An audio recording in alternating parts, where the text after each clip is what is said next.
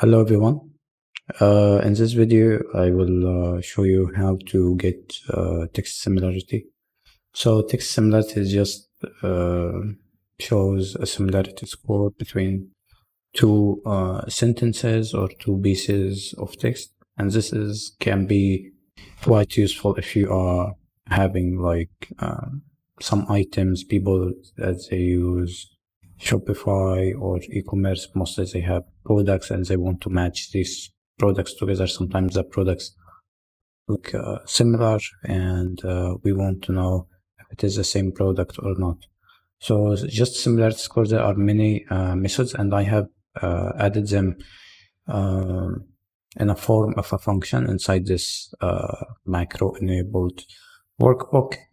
And uh, this actually, they have here like uh, these methods that they are used in the function. So for simplicity, I just added one function only and uh, added some uh, like methods inside this function. So it will be one function for all of them.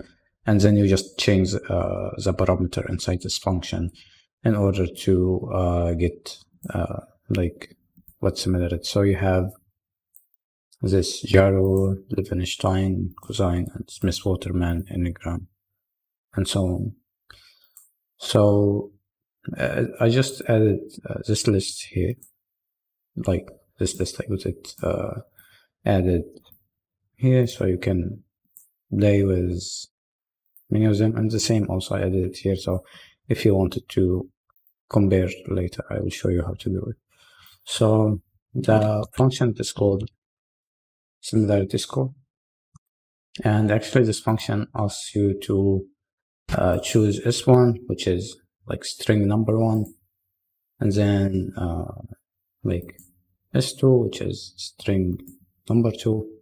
And here is the method actually it should be this one, for example. You, you can like write it as it is. But if you write it in a different way, like uh, like ngram or Levenshtein fold, it won't match inside the function. The things that match inside the function are the things that I mentioned here in this one. So these are the valid values that you can uh, choose from. So these are uh, things that we can choose. But uh, for simplicity, we use, for example, for now is ngram and this is in case if you are choosing uh, case sensitive, if it is by, by default, it is false. Um, but you can uh, keep it in case you have case sensitive things also, or an ngram, there is number of ngrams that you want to search like two, three, four, or five, and so on. But you can leave them. The default here is two, and the default here is false.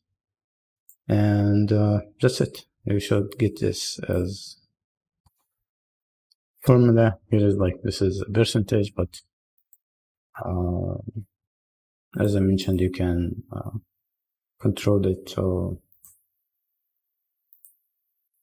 so is number for example so it will be one only. So it will give you a number and you can convert this into percentage. So I'll show you the matching so for example, we want to fix this one.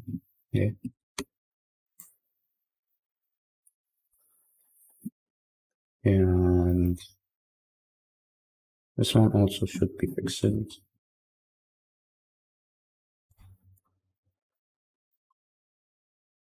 So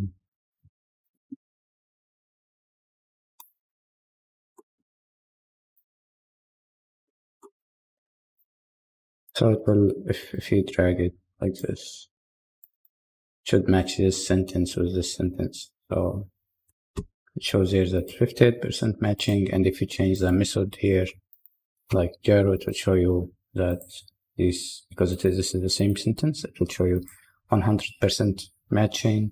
And because this one is different from this one, so it will show you different um, can add things like this and so on. Uh, we can extend this by uh, dragging this one here should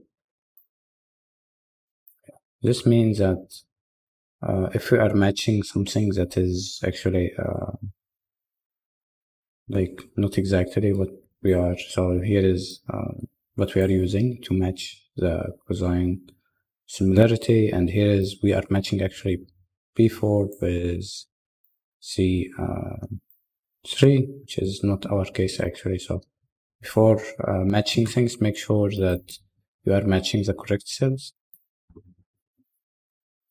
You can actually fix this one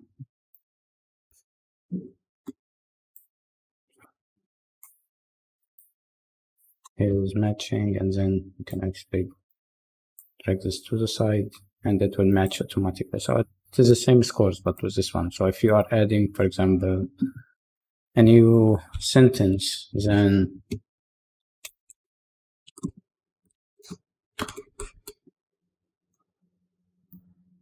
you can just get this uh, and, and here and make sure that you are matching the correct. Uh, then you should actually have this one added here.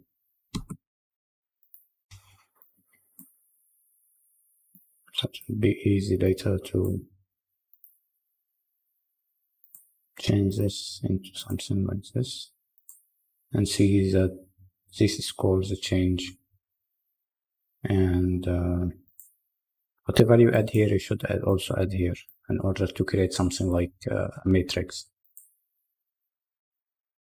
And you can actually like compare uh, between two. So you have if you have this similarity score you can actually use something like concat to uh, match text one. So the text one will make it here this one. Uh, should fix this. And um, create this one. And the other one should be the same.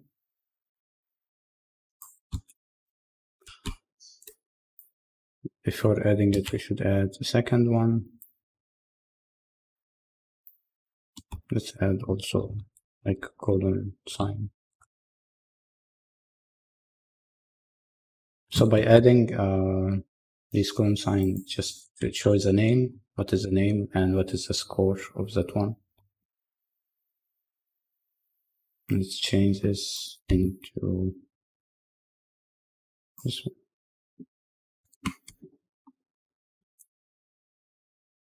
Okay. So it will show you that uh, the score for each one of them you can see so we have actually this as long you can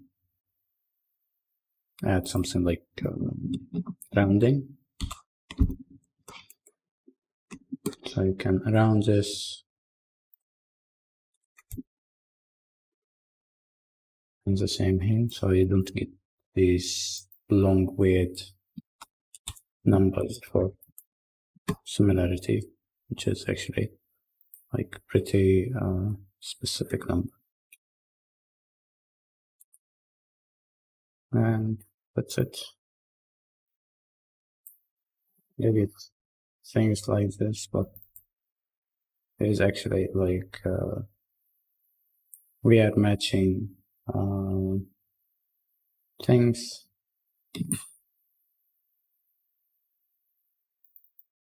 So this one should be matched with this one.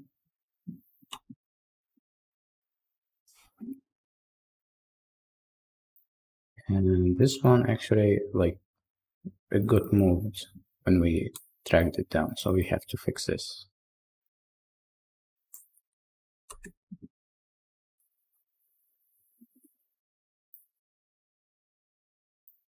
So it doesn't show weird uh, formulas or output. So you can see here, and once you can change this, you can see uh, the difference in similarity between each two algorithms if you want to um, compare them to each other. And uh, that's our uh, video for today. I hope that you find it uh, useful. And if you found it so, please uh, share it and subscribe. And uh, you can also add a comment if there is uh, anything that is not clear. So um, I hope that you enjoyed this video and uh, see you in another one. Thanks for watching.